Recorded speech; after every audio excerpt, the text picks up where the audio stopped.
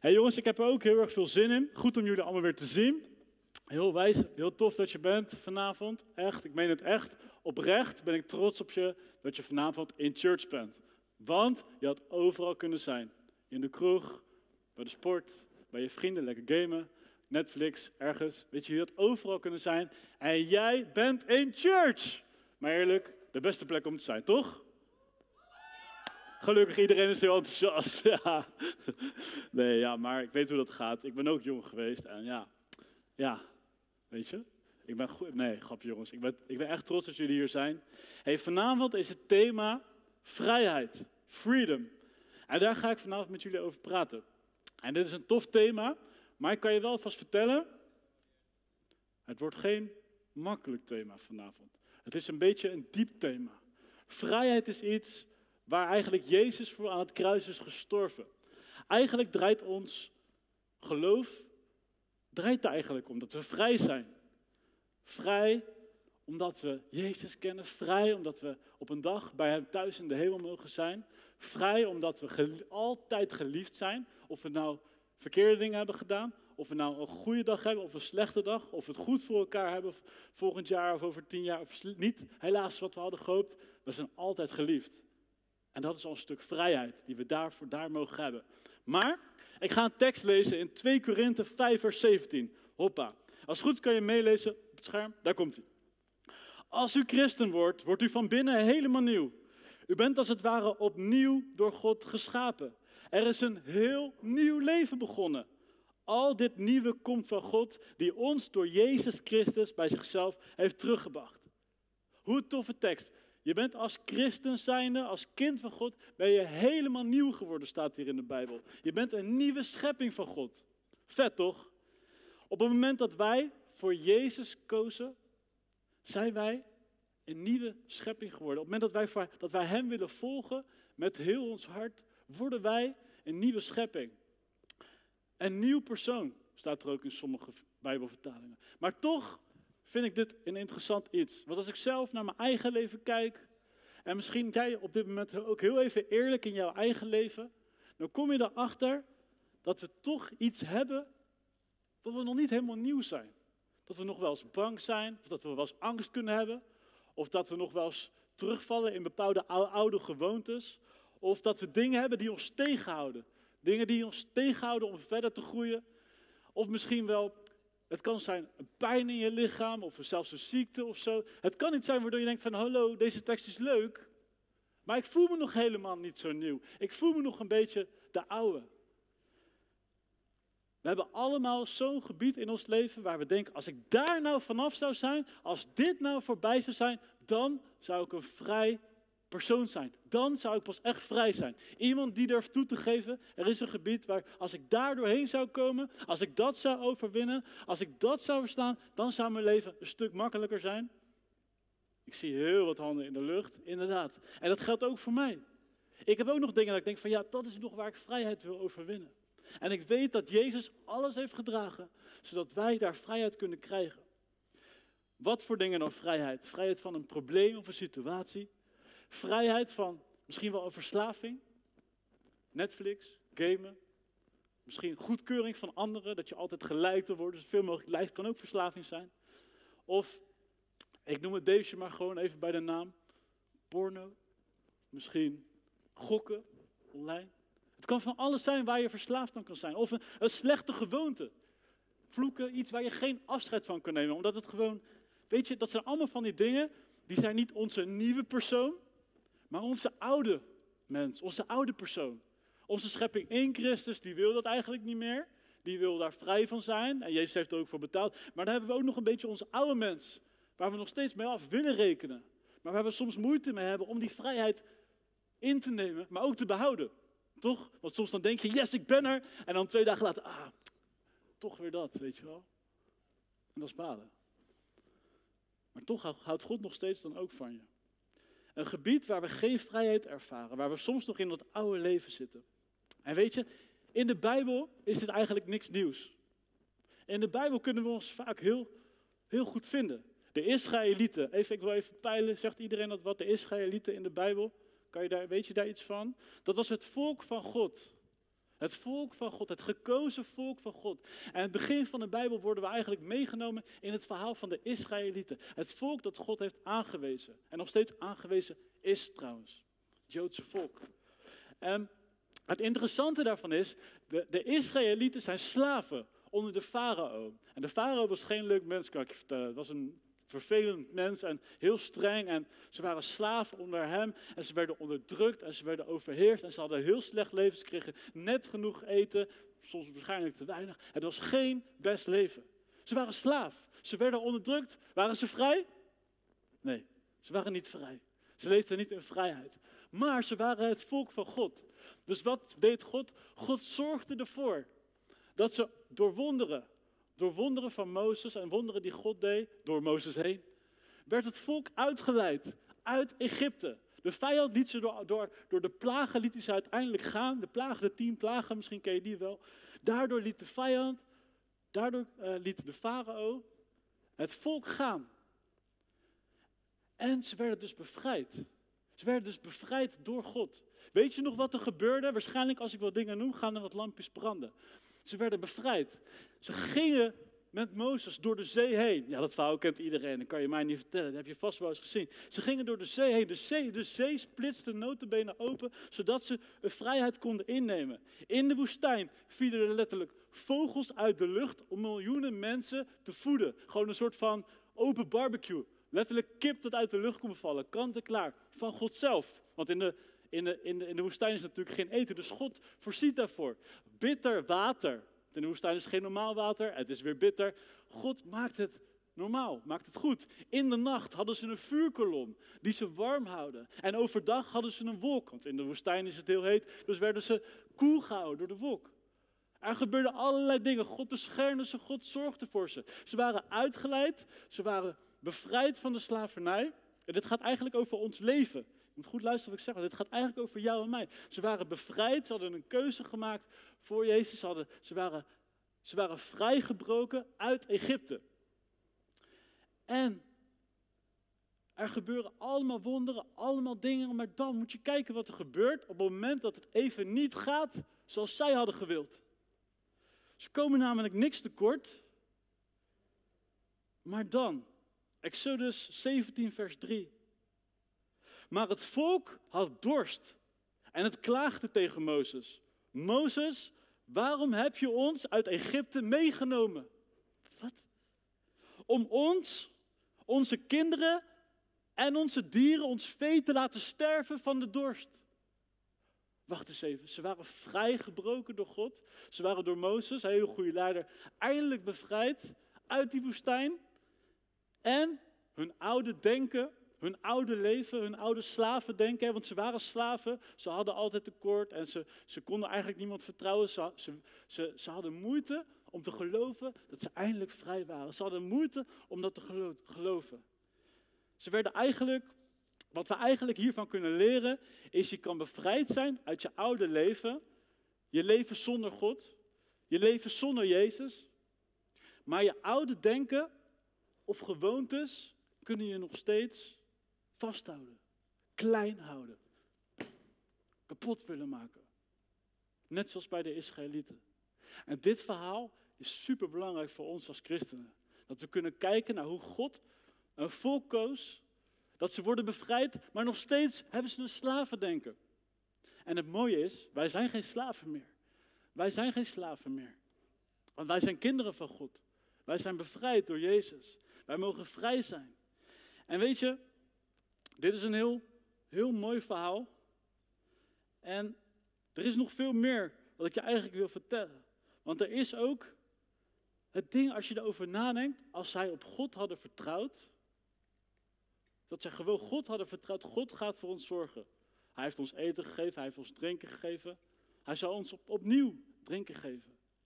Maar nee, wat deden ze? Ze gingen weer klagen. Ze, ze, ze dachten weer, ze, waren, ze vergaten God weer. Ze gingen eigenlijk weer twijfelen of God wel, wel voor hen zal zorgen. Dat is best wel bizar.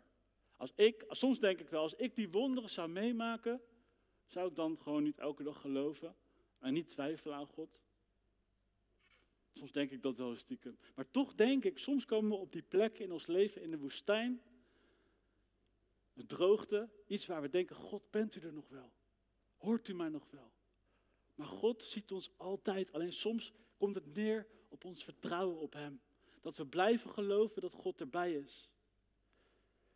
Eigenlijk hebben we ook een heel goed voorbeeld die ik je nu wil geven. De Israëlieten lukte het dus niet zo best om helemaal vrij te komen van hun slavendenken, van hun onderdrukking, van hun oude leven. Maar er is iemand in de Bijbel, uh, niet Jezus, uh, die een heel mooi voorbeeld is hoe je in vrijheid kan leven. En dat is Paulus. Paulus is echt een voorbeeld als we kijken hoe kan je door allerlei nare dingen gaan, maar toch vrij zijn. En daar wil ik een paar minuten met je naar kijken. Want Paulus zat een paar keer in de gevangenis. Heel knap. Een paar keer zat hij in de gevangenis. En dat waren niet zomaar gevangenissen, want je had nog geen grondwet en allerlei regels en dingen waardoor je goed behandeld zou worden. Nee, dit waren de donkerste plekken op aarde. Dit waren plekken waar je eigenlijk gewoon gemarteld werd.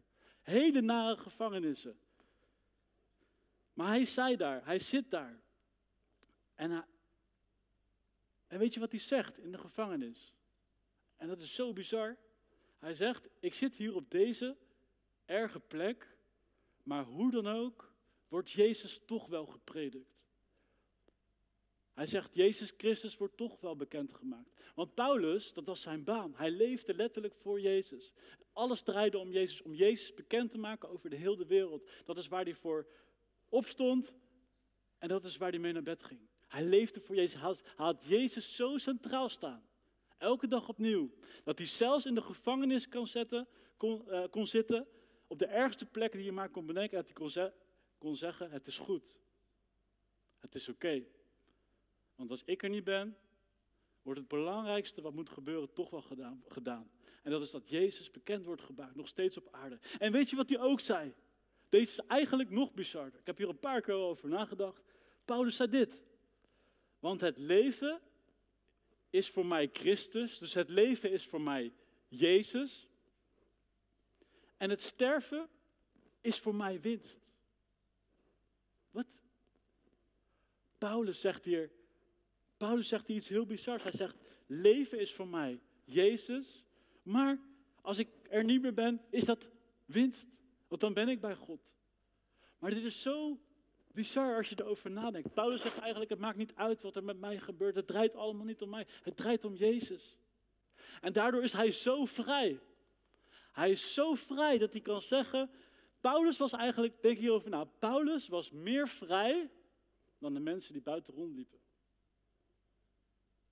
Want hij wist, waar ik ook in terecht kom, of ik nou leef, of ik nou doodga, of ik nou nog honderd jaar in de gevangenis zit, kan natuurlijk niet.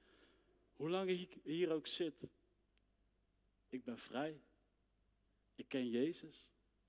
Ik ben een kind van God. Mij kan niks afgenomen worden. Want als ik vandaag in deze gevangenis zou sterven, dan ben ik bij God. Dan ben ik bij Jezus. Dan ben ik thuisgekomen. Hij wist. Hij wist hoe hij onder elke situatie blij kon zijn. Hij wist hoe hij onder elke strijd, onder elke storm, onder elke ja, letterlijk een storm waar hij ook later in belandde. Hij, hij had later, belandde die een keer op zee, een hele erge storm. En hij belandt op een eiland. En daar ook weer doet hij het goede. Daar ook weer geneest hij allemaal mensen in de naam van Jezus. En hij gaat verder. Hij laat zich niet afleiden door een gevangenis. Hij laat zich niet afleiden door allerlei hoge mannetjes, waardoor hij wordt gevolgd omdat hij Jezus wil, wil dienen. Omdat hij Jezus verkondigt in een wereld waar dat helemaal niet normaal was. Paulus was vrij onder elke situatie. En weet je, goed nieuws als je hier vanavond zit. Je zit dan misschien niet in de gevangenis, toch? Halleluja, dank u wel Heer, dat we niet in de gevangenis zitten. We zitten lekker op een, op een jonge vriendheid. Maar we kunnen wel gebonden of gevangen zitten, niet vrij zijn door een pijn. Of door een situatie of door een lastig iets waar we, waar we doorheen moeten gaan. Misschien een trauma uit je jeugd. Misschien iets waardoor je elke nacht kan huilen. Misschien een pijn in je lijf. Of misschien wel een, een, beeld wat je van jezelf hebt. Wat niet klopt. Want jij bent een mooi kind van God. Misschien heb je heel veel zorgen. Misschien heb je, ben je bang voor de toekomst. Misschien ja, een angst voor een tekort aan iets. Angst voor te weinig geld. Angst voor te weinig vrienden. Angst voor uh, te weinig gezondheid, angst voor iets. Er zijn heel veel dingen waarvoor je bang kan zijn. Maar weet je, vrij zijn is vaak een keuze. Want vaak kan je zeggen, hé, hey, ik heb nu niet wat ik, waar ik zou willen zijn. En ik kan je zeggen, ook op dit moment in mijn leven ben ik op een plek waar ik liever niet zou willen zijn. Gewoon vermoeid, oververmoeid. Dingen die je, je lichaam, dat je denkt van, waarom doet mijn lichaam dat? Maar ik weet wel, ik ben vrij. Want het is goed. God houdt van mij. En eigenlijk zou ik eigenlijk kunnen zeggen, net als Paulus. En ik heb hier al veel over nagedacht, daarom, daarom weet ik al of ik dat kan zeggen. Maar je moet hier natuurlijk echt over nadenken of je dat oprecht kan zeggen. Maar ik meen oprecht dat ik zou kunnen zeggen, leven is voor mij Jezus en sterven is voor mij winst. En dat geeft heel veel vrijheid. Trouwens, ik wil je niet zorgen baren. Ik ga niet sterven hoor. Geen grap, zo erg is het nou ook weer niet. Maar weet je, Jezus, als we Hem vertrouwen, als we God vertrouwen, als we de goede Hemelse Vader vertrouwen, maakt dat je vrij. En dat is eigenlijk, dat is eigenlijk het tweede punt wat ik je vandaag wil geven. Vrij zijn is een keuze. Jezus steeds vertrouwen dat het goed komt. En mijn eerste punt, ik zie dat ik die ben vergeten. Geweldig werk, Ruben. Goed bezig. Het eerste punt was, we zijn vrij omdat we een nieuwe identiteit hebben in Jezus. We zijn vrij omdat we een nieuwe identiteit hebben in Jezus. We zijn nu kinderen van God geworden. We zijn nu zijn kinderen, zijn geliefde kinderen. Waardoor we vrij mogen zijn. En het tweede is dus vrij zijn is een keuze. Jezus steeds weer te vertrouwen dat het goed komt. Hoe vrij? Een eerlijke vraag aan je. Hoe vrij ben je als je je nooit meer in de nacht een minuutje zorgen maakt? Of als je je overdag, man, dag of nacht, dat je je geen zorgen meer hoeft te maken. Omdat je weet, ik heb een hemelse vader die van mij houdt. Die voor mij strijdt, die een plan met mijn leven heeft, die stapelgek op mij is. In een moeilijke tijd is dat hetgene wat mij altijd recht overeind houdt. Dat ik weet, oké, Dingen zien er niet goed, dingen zien er nu niet goed uit. Maar God is voor mij. God is met mij. Hij houdt van mij. En misschien heb ik er hier en daar fouten gemaakt. En heb ik er daar een zootje van gemaakt. Maar Jezus, God de Vader en de Heilige Geest zijn nog steeds bij mij. En houden nog steeds van mij. En dat is de vrijheid die we mogen innemen. Dus vrijheid is een keuze. Jezus steeds vertrouwen dat het goed komt. Jezus zei ook, maak je geen zorgen over de dag van morgen. Want vandaag heeft al genoeg zorgen aan zichzelf. Het waren letterlijk de woorden van Jezus. Jongens, maak je geen zorgen. Maak je geen zorgen.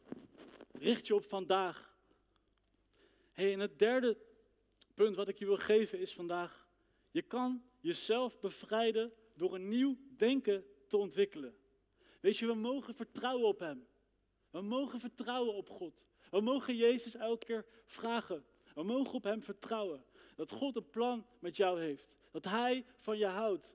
En dat is, dat is iets wat groeit. Het is niet zo dat op de eerste dag dat jij zegt van ik wil Jezus volgen, ik wil God volgen, dat je gelijk elke dag groot geloof hebt, dat je elke dag van weet van nou waar ik ook doorheen ga. Of nog, nog beter voorbeeld, uh, Paulus, dat Paulus zegt, leven is uh, Christus, leven is voor Jezus en sterven is winst. Dat is niet iets wat je zegt op je eerste dag, dat je zegt ja ik wil Jezus volgen. Misschien wel, ik hoop het. Maar meestal is dat iets waar, waar je in groeit. En dat je zegt van, ja, nu kan ik dat zeggen. Mijn geloof is gegroeid, mijn denken is veranderd. Ik heb het woord van God gelezen. Ik heb veel preken gehoord. Ik heb geworshipped. Ik heb God gezocht. Ik heb God zien doorbreken in mijn eigen gebeden, in mijn eigen gebedstijd. Ik heb God zien zorgen voor mij en voor vrienden en voor mijn gezin of voor je familie.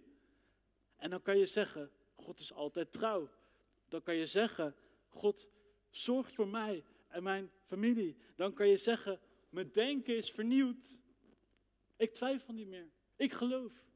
En dat heeft tijd nodig, hè? Voel je niet dat je denkt van, ah man, daar ben ik nog lang niet. Nee, nee, nee. Toen ik net christen was geworden, eh, moest ik daar dagelijks aan werken. Dat ik denk van, oh nee, weet je, ik geloof nu in God. Ik geloof nu in Jezus. Ik geloof nu dat, ik een, dat er een plan met mijn leven is. Ik geloof nu dat mijn leven hier op aarde een doel heeft. En ik geloof dat sommigen van jullie dat vandaag ook mogen horen. Je hebt een doel hier op aarde. Je bent gemaakt door God hier op aarde om Hem te aanbidden. Om Hem groot te maken. Maar ook om vervolgens zijn liefde weer uit te delen aan andere mensen. Aan jouw vrienden, aan jouw familie. En om de wereld te veranderen. Jezus zei, wees het zout en het licht van deze aarde. Dat is de opdracht die hij ons gaf. Hij zei, verander de wereld.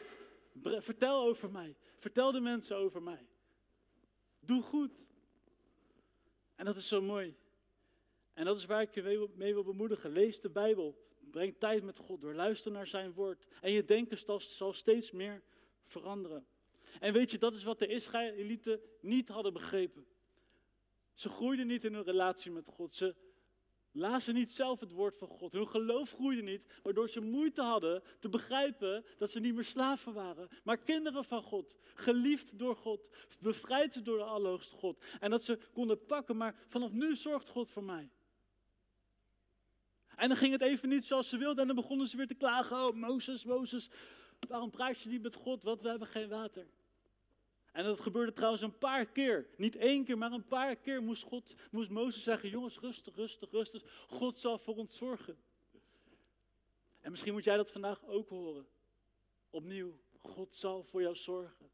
Hij heeft jou in zijn handen. Hij zal voor jou zorgen. Ergens in de Bijbel, in Psalmen staat: Jij bent een parel in zijn handen. Jij bent heel kostbaar in zijn handen. Er staat in de Bijbel dat hij alle haren op je hoofd heeft geteld. Heb je wel eens iemand het aantal haren op je hoofd zien tellen? Nee, want dat is niet zo belangrijk. Daarom staat het in de Bijbel om te laten zien hoeveel God van je houdt. Hij is stapelgek op jou. Weet je, en dan vraag je je misschien af waarom we dan soms zo'n strijd hebben, zo lang tegen een ding waar we doorbraak in willen krijgen. Misschien die verslaving, misschien datgene waar je, waar je, hoe je naar jezelf kijkt. Waarom krijg je daar nou geen vrijheid in? Misschien is dat omdat we het soms niet doen op Gods manier, maar op onze manier. En ik wil je een, Bijbeltekst geven waarin God eigenlijk heel duidelijk zegt hoe we vrijheid kunnen ontvangen. Jacobus 5, vers 16. Bekend daarom uw zonde aan elkaar en bid voor elkaar, zodat u genezen wordt.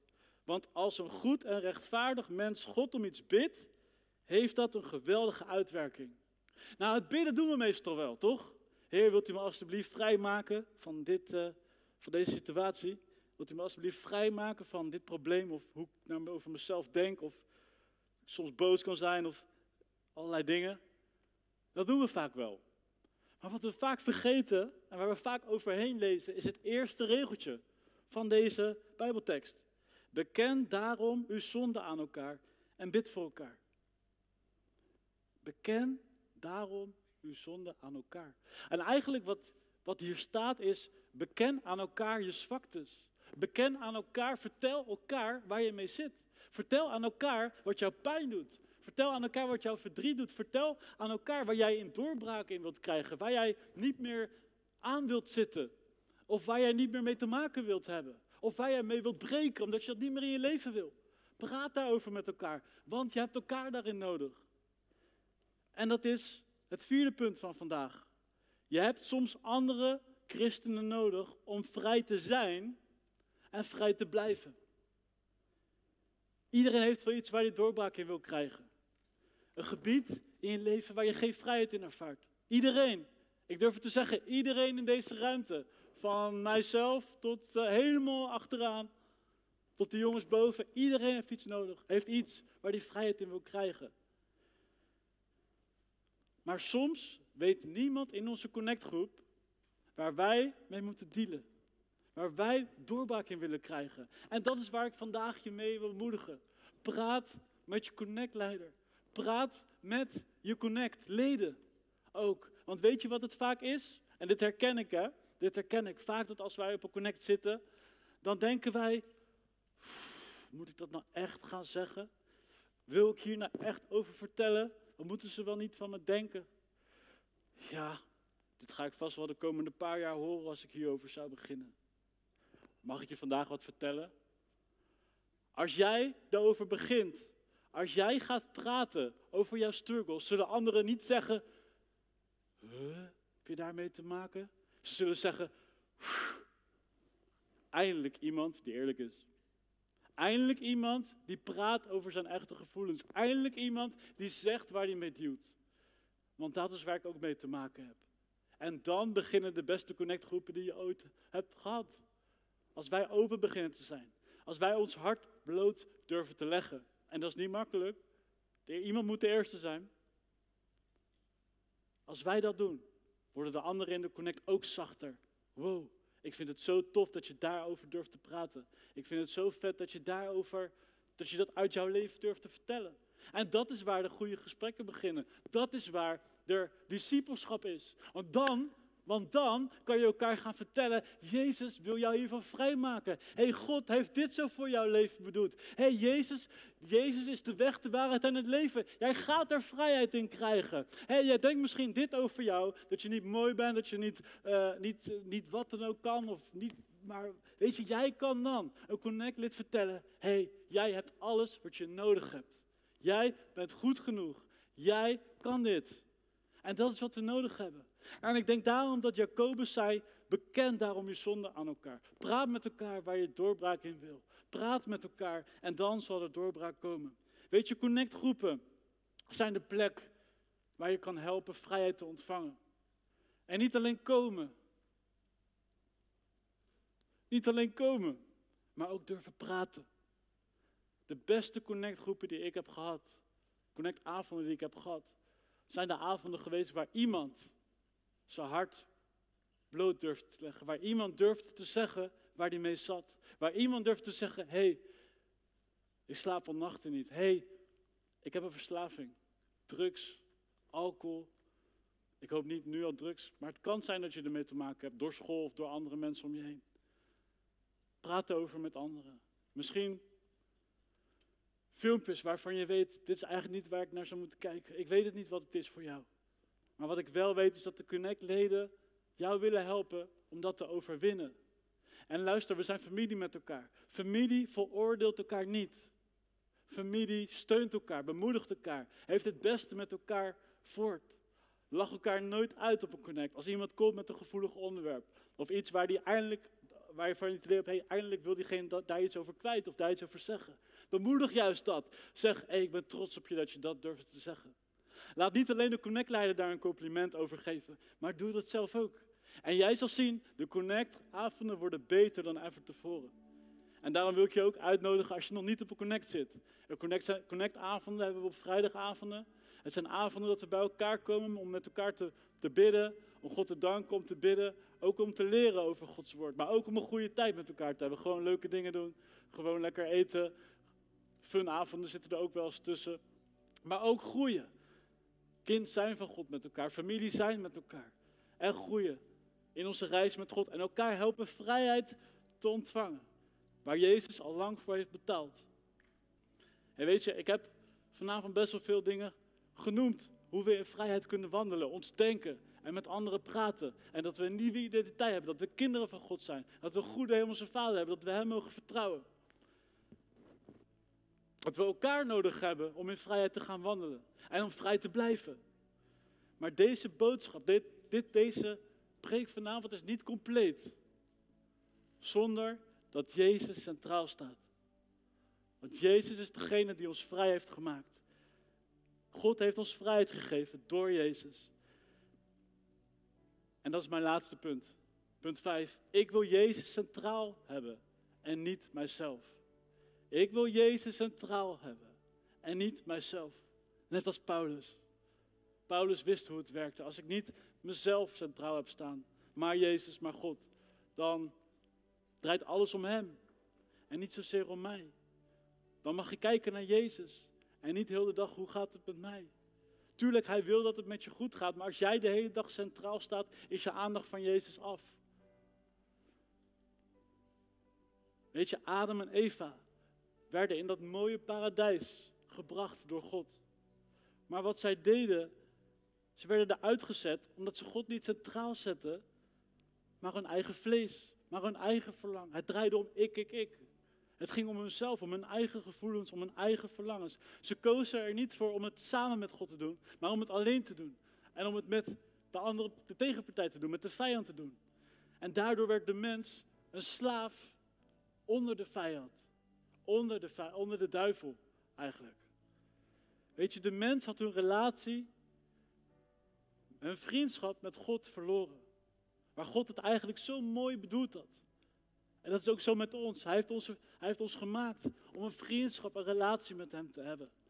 En Hij daagt ons uit, hey, doe het met mij. Doe het niet op je eigen krachten, niet op jouw manier. Maar doe het met mij, doe het samen met mij. En zet mij, zet mij centraal. En gelukkig kwam Jezus, kwam Jezus om al die fouten, die verslavingen, die angsten, al die zorgen waar je s'nachts van wakker ligt over te nemen. En hij kwam om te zeggen, hey, geef het aan mij. Ik ga die nare weg naar het kruis.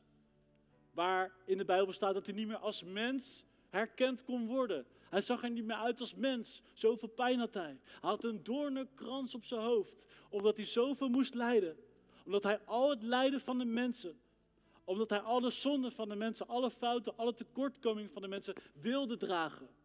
Eigenlijk was Jezus aan het kruis die zo hing. Dat hij zei, kijk hoe kapot ik ben. Kijk hoe erg ik ben geslagen. Ik ben niet eens meer een mens. Maar ik doe dat voor jou. Omdat ik van jou hou. Omdat ik jou vrij wil maken. Omdat ik jou in vrijheid wil hebben. En dat ik jou een kind van God wil maken. Ga ik deze weg om alle zonden weg te nemen. Om alle fouten weg te nemen. Om alles weg te nemen. Door Jezus hebben we onze identiteit, wie we zijn. Onze ware identiteit is wie we zijn. In God. Door Jezus mogen we weer eigenlijk terug in die tuin van Eden, waar het allemaal begon met Adam en Eva. We mogen die tuin ingaan. Een relatie met God hebben. Adam en Eva konden gewoon praten met God. Een vriend zijn met God. Een relatie hebben met Hem. Praten met Hem. En wij mogen dat ook weer doen. Door Jezus. Kunnen we net als Adam en Eva, hoe God in allereerste de aarde had gemaakt en de mens had gemaakt. Zo kunnen wij met Hem praten. Als een vriend. Als een vader. Als jouw redder. Als jouw leider. Zo mag jij met hem praten. We zijn kinderen van God. We zijn vrienden van God. We zijn geliefd door God. En weet je, als we vrijheid willen hebben, moet Jezus centraal staan. Weet je, als Jezus centraal staat in mijn leven, sta ik niet meer centraal, maar Jezus staat centraal. Als Jezus niet centraal staat in mijn leven, is het altijd, waarom is dat zo gegaan? Waarom heb ik niet dit? Waarom ben ik zo? Ben ik altijd mezelf aan het vergelijken met anderen? Denk ik altijd, waarom ben ik niet daar in het leven? Of waarom is, waarom is dit niet zo gegaan? Of waarom is het niet zo gegaan? Net zoals Paulus. Die zei ook niet, waarom ben ik niet buiten? Hij accepteerde de plek waar hij nu was. En hij wist op die plek vrijheid te vinden. En dat is waar ik je vandaag in wil bemoedigen. Ik weet niet waar je nu in zit. Ik weet niet in welke gevangenis jij zit. Maar je kan vandaag zeggen, ik ben vrij. Want ik leef voor Christus. En ik sterf op een dag met Christus. En dan ben ik voor altijd bij Hem. Nog niet, want je hebt nog een mooi leven samen met Hem. Maar het is wel de waarheid dat we onder elke situatie, onder elke nood, onder misschien wel elk verdriet, onder elke gevangenis, dat we vrij zijn. Dat we weten, Jezus heeft alles gedragen en alles komt goed. Het waren de woorden van Jezus zelf. En weet je, God maakt ons vrij door de kracht van de Heilige Geest. En wat we vanavond willen doen, is iets wat we niet vaak doen. Het is iets wat we vaak gewoon doen als iedereen blijft zitten. Maar ik wil vanavond dit, dit moment speciaal maken. Dat het een moment is, een speciaal moment is. Dat je kan zeggen, hé, maar dit wordt een keerpunt in mijn leven. Dit wordt een moment van ommekeer, van bekering. Dat is eigenlijk wat ommekeer is. Een andere weg inslaan. Niet meer die weg willen volgen, maar een andere weg willen volgen. De weg van God. De weg samen met Jezus. En hoe ik deze avond nog iets specialer wil maken dan anders dan normaal, is om niet op je stoel te blijven zitten en om te zeggen: Ik wil Jezus volgen.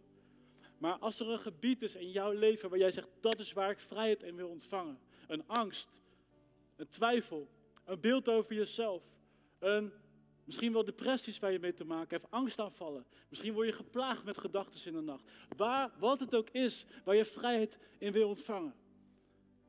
Daar gaan we zo meteen voor bidden. En als jij zelf de keuze wilt maken, ik wil die vrijheid innemen waar Jezus al lang voor heeft betaald. En ik wil vrij zijn onder elke storm, onder elke situatie, onder elke nood, onder elk verdriet. Maar ik weet wat er ook gebeurt in het leven. Jezus is koning en de duisternis heeft nooit het laatste woord. Dan wil ik je uitnodigen om naar voren te komen. En je hoeft niks te doen, je staat hier gewoon. Je gaat gewoon hier staan. Net als de rest van de mensen die naar voren gaat komen. En je zegt, Jezus, hier ben ik. Ik ben van u. Je hoeft niet eens zo te doen, je mag ook gewoon staan. Jezus, hier ben ik. Ik ben van u. Ik wil dit gebied waar ik vrijheid in wil ontvangen aan u geven. Ik ben er klaar mee. Ik wil nieuwe weg inslaan. Ik wil het samen met u doen. Jezus, wilt u me vrijzetten? Waar het gebied waar jij vrijheid in wil. Dus ik wil je uitnodigen om naar voren te komen. En iemand moet de eerste zijn. Ik weet, er gaat niemand komen als niemand de eerste is. Maar als een paar mensen de keuze maken, gaan meerdere volgen. Kijk, als er een gebied is waar je zegt, Jezus heeft mij vrijgekocht. Van angst, van zorgen, van twijfels, van een onrust, van misschien wel ziekte. Misschien heb je al je hele leven ergens last van. Jezus wil je vrijmaken. Vrij van verslaving, porno, drugs, misschien verslaafd aan social media goedkeuring van anderen. Misschien denk je wel vaak, ik kan het niet, ik ben niet goed genoeg. Ik ben niet leuk. Je bent wel leuk, kom naar voren. Misschien angst voor de dood. Misschien angst voor waar je over tien jaar bent. Misschien een angst voor, krijg ik wel een partner? Kan. Krijg ik wel een relatie? Misschien een angst voor, vindt God mij nog wel leuk? Oh man, God is stapelgek op jou. Hij houdt zoveel van jou. Jullie zijn allemaal mooi en geliefd. Hij is gek. Stapel, stapel gek op iedereen van jullie. En ik wil je vandaag bemoedigen. Jezus is de weg, de waarheid en het leven. Hij wil jou een vrijheid hebben. Je hoeft niet langer door te gaan met hetgene waar jij aan gebonden bent. Jezus zei zelf: hey, volg mij, geef het aan mij. Mijn last is licht. Mijn, ik heb Zoveel liefde voor jullie. Maar je moet aan mij geven. Je moet leren loslaten. Je moet in mij vertrouwen. Je moet in de Vader vertrouwen. Dat zijn woorden die Jezus continu sprak. En ik ben trots op je als je nu vooraan staat. Veel van jullie zijn gekomen. En als ik nu in de zaal sta, was ik hier ook gaan staan. Want ook ik heb dingen waar ik nog vrijheid in wil ontvangen. En ik ga bidden. Ik vragen of iedereen zijn ogen een momentje kan dicht doen. En ik wil je ook vragen tijdens het bidden om te zeggen: Heer, vul me met uw Heilige Geest. Ik ben van u. Ik ben van u. Zeg het maar na, Heer, ik ben van u. Heer, ik ben van u. Vul me met uw Heilige Geest. Ik wil u volgen. Ik wil u dienen. Ik wil een nieuwe weg inslaan. Ik wil vrijheid ervaren. Een leven hebben. Zoals u dat bedoeld heeft. Vijand. Jij hebt geen recht meer om mij aan te vallen. Met depressies, met angsten, met eenzaamheid, met twijfels over God, met twijfels over mijn toekomst. Ik ben van u en ik geef alles aan u. Jezus, u bent mijn redder. U bent mijn genezer. U bent mijn Heer en Meester. Ik wil u dienen. Ik wil u volgen. Ik ben van u. En ik wil je uitnodigen om heel even, de kies mag iets harder, Morris, om even in je eigen woorden gewoon iets aan God te geven, waar jij vrijheid wil ontvangen. Geef het gewoon even aan God in je eigen woorden. Ik bid nog even door. Kies mag nog iets harder.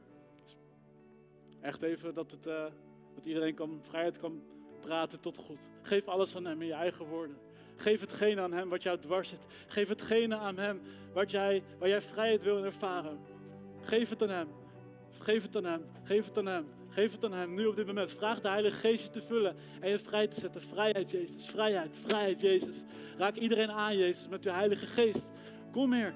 Kom hier. Raak iedereen aan van angsten,